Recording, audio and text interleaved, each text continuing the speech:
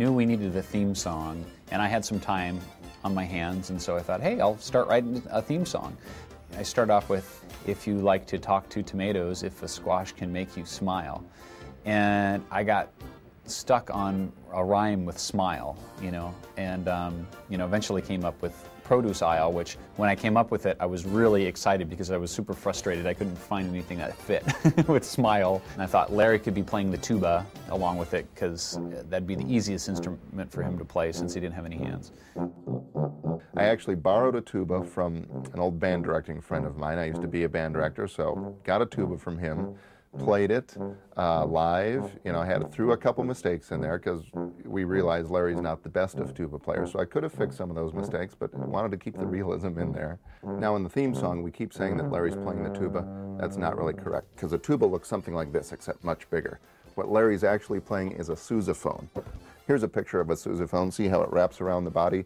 John Philip Sousa actually invented this so that the tuba players in his marching band could march along with his band and carry their instruments with them.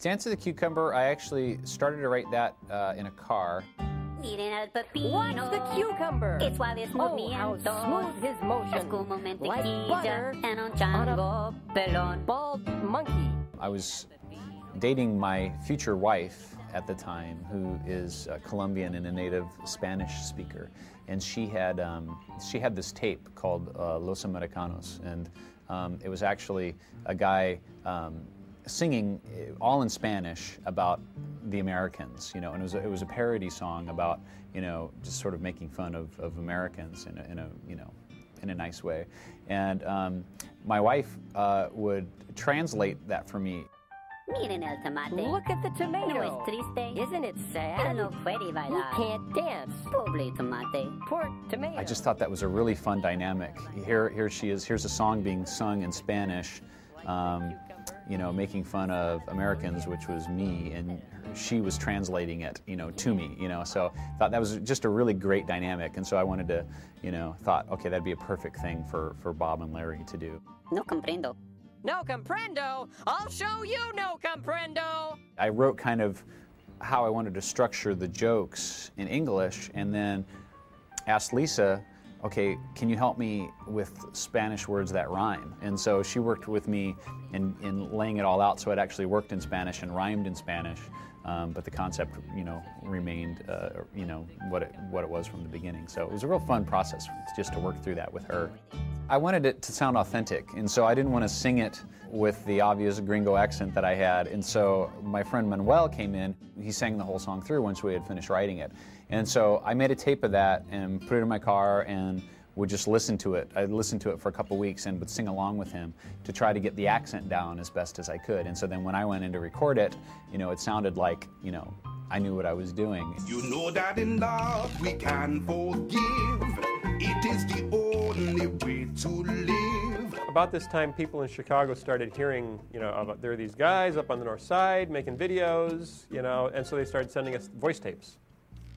And one of them was a guy named Jeff Morrow, who turns out was the voice of Dig'em from the old Sugar Smacks commercials, which is pretty cool, and had done, you know, Folgers in your cup, and just had this huge voice. It's like, oh, I love this voice. And so we cast him as Palmy, the palm tree you know, with the little coconuts that sing backup, which are both my wife. My wife is both the coconuts, and and Jeff was the palm tree, and it was just so cool, you know, because Mike and I could never ever do a voice that big and rich, and it was our first, you know, one of our first attempts to bring in a real voice person, not just two Bible college dropouts who thought they could do voices. And now it's time for Silly Songs with Laddie, the part of the show where Laddie comes out and sings a silly song. So without further ado, Silly Songs with Laddie. Um, the Water Buffalo song was the very first silly song and the only one that I wrote. And I was walking um, through the plaza of the Dirksen Federal Building in downtown Chicago, and I had a, a handful of tax forms. All of a sudden, into my head, this little song just jumps. And I start singing, Everybody's got a water buffalo, yours is fast and mine is slow. And I thought, well, that where did that come from, first of all? And that's kind of fun. That could be you know, the first little goofy song that we put in as this break. This is the only silly song I had absolutely nothing to do with. Phil came up with that little ditty. he sequenced it at home with his uh, one or two little modules and his little drum machine and brought a friend in, Mike Sage, played guitar on it, and that was that. When we were working on Water Buffalo, um, uh, just singing through through the first verse of the second verse, everybody got a water buffalo, woo! That was supposed to be a, originally that was just supposed to be a real short note, but when we were in the note, when we were in the booth recording it, um, I just thought it'd be fun. I, I think uh, Three Amigos is one of my favorite movies. I just love. It's just a really you know goofy movie, um, and. Uh, uh, when they when the guys sang the Three Amigos theme song, they held they hold out that note forever, you know. And I wanted to do something like that similar in the Water Buffalo song, so I just you know held that note out all the way to the second verse, and you know it took it took a few a, a few uh, takes to get it down, just because you get so out of breath when you hold it that long. So I had to make sure I had a huge, enormous breath right before I started to go all the way through. Everybody's got a water buffalo.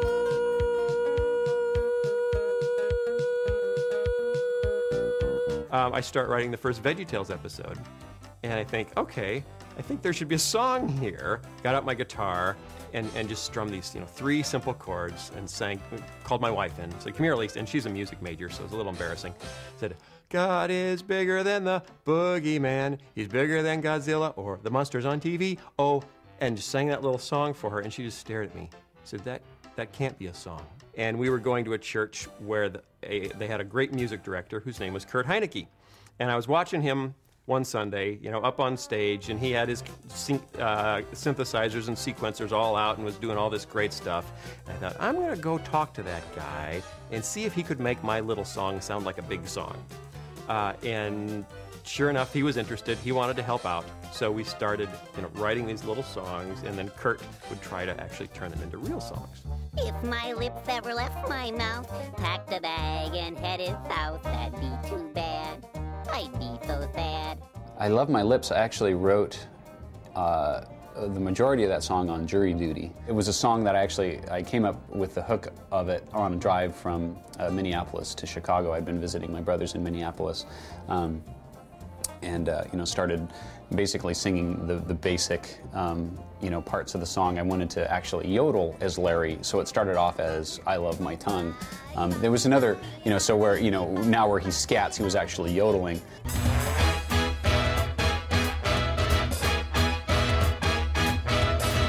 Had a great concept there, taking all the different elements, the guy singing, "Oh, know what we're gonna do," and have that that drum part in there, kind of like sing, sing, sing, that big band sort of sort of feel. It was fun to work with that. It was a challenge back then because, again, we had we had no live instruments. We didn't have a budget for that sort of thing, so I had to create everything in my sequences and my samplers and my keyboards, and to try to get that live feel. But the song is great. I mean, to take those different lines. Uh, of, uh, you'd call it counterpoint in music history, where you take one line and it comes in and sings one part. Now you add another part that sings a completely different part, and then a third part, but they all blend together miraculously. And that's just great writing, and, and Phil did all of that. My wife and I had just seen Joseph, you know, in the Technicolor Dreamcoat by Andrew Lloyd Webber. So I thought, okay, I can do that. I'm going to write a musical based on a Bible story, just like Andrew Lloyd Webber. I'd never done anything even remotely close to that. And uh, I woke up in the middle of the night with this little melody going through my head. You know, bump, bump, bump, bump, bump, bump, bump, bump, bump. Oh no, what we gonna do? So I got out my mini cassette recorder and I ran into the bathroom and shut the door. In the middle of the night, I woke up because he wasn't there, which does not happen. And I am thinking, where is he? And I look and I see a light coming from under the bathroom door. And I'm thinking, is he sick? What's going on? I better go check. And I went over, and as I got closer, I'm hearing, I see this shadow as if he's sitting next to the door, which made me worried. Perhaps he was ill. And then I hear this song. I hear, I hear him going, I am King Darius. I've had a dream. I was actually in the shower one day, and uh, I shave usually shave in the shower, and um, the razor that I used wasn't there, you know, and so I was looking around for it, you know, and I just started singing, "Oh, where is my razor?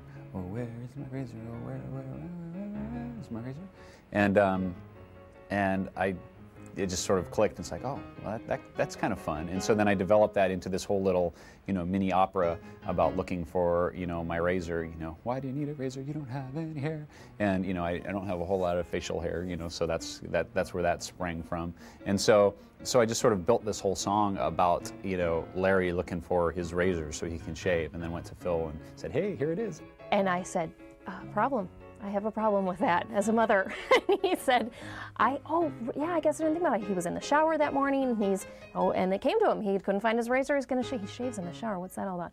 But he's, oh, where is my razor? And he said, oh, yeah, that's not going to work. It's really bad. I said, Mike, we just cannot be sending children all over this country looking for their parents' razors. So he said, uh, hairbrush. Oh, where's my hairbrush? We said, great, go run with it, write the song. And he did. And can't remember when we came back in to record it. And we had all seen the words and thought this was going to be just hilarious. We loved it. And we all came in. I think I was the first one to come in and record. And Junior has the line, you know, why do you need a hairbrush? You don't have any hair. And Bob has those lines of, that hairbrush of yours, you know. And, and we're in, I'm in the booth recording it spoken because that's how Mike had envisioned it. He was envisioned the only sung part of this whole thing to be oh, aware, aware, aware, aware, aware, and then it would just be all spoken. and the funny thing was is that Kurt had already laid down the piano track, that fun piano, almost kind of lady on the railroad kind of sound. And he had laid it down, and so we had to fit our lines in between whatever space he had given us in terms of that arrangement. And so I went in there to record my line, Why do you need your hair, but you don't have any hair? And I'm hearing this and this music, and I'm in the music, and I just sang it. I said, Why do you need a hairbrush? You don't have any hair! And they like were laughing and crying and i said i'm sorry i know i was supposed to and they said no that's great. Maybe we should sing all these lines. The bunny the bunny whoa i ate the bunny. The great thing about the bunny song is it's a really catchy song. Um, the bad thing about it was it's probably the catchiest song in the whole video and it was the song that you weren't supposed to sing. And so um, you know parents we, we got some letters from parents afterwards saying um, you know, love the video, but you know, my my child is you know singing the bunny song. I won't go to church and I won't go to school. I don't want my child singing that.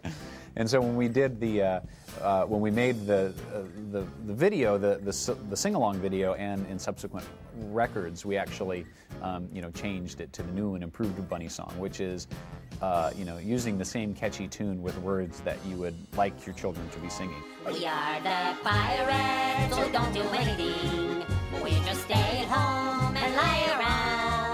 I toured with the Continental Singers um, after my first year in college. At the end of the summer, in the fall, we were going to be in Boston, you know, in the Boston area.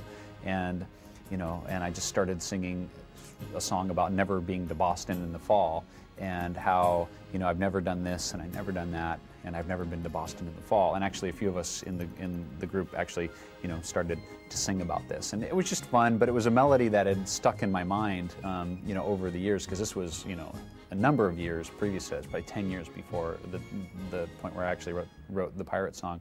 We don't do anything.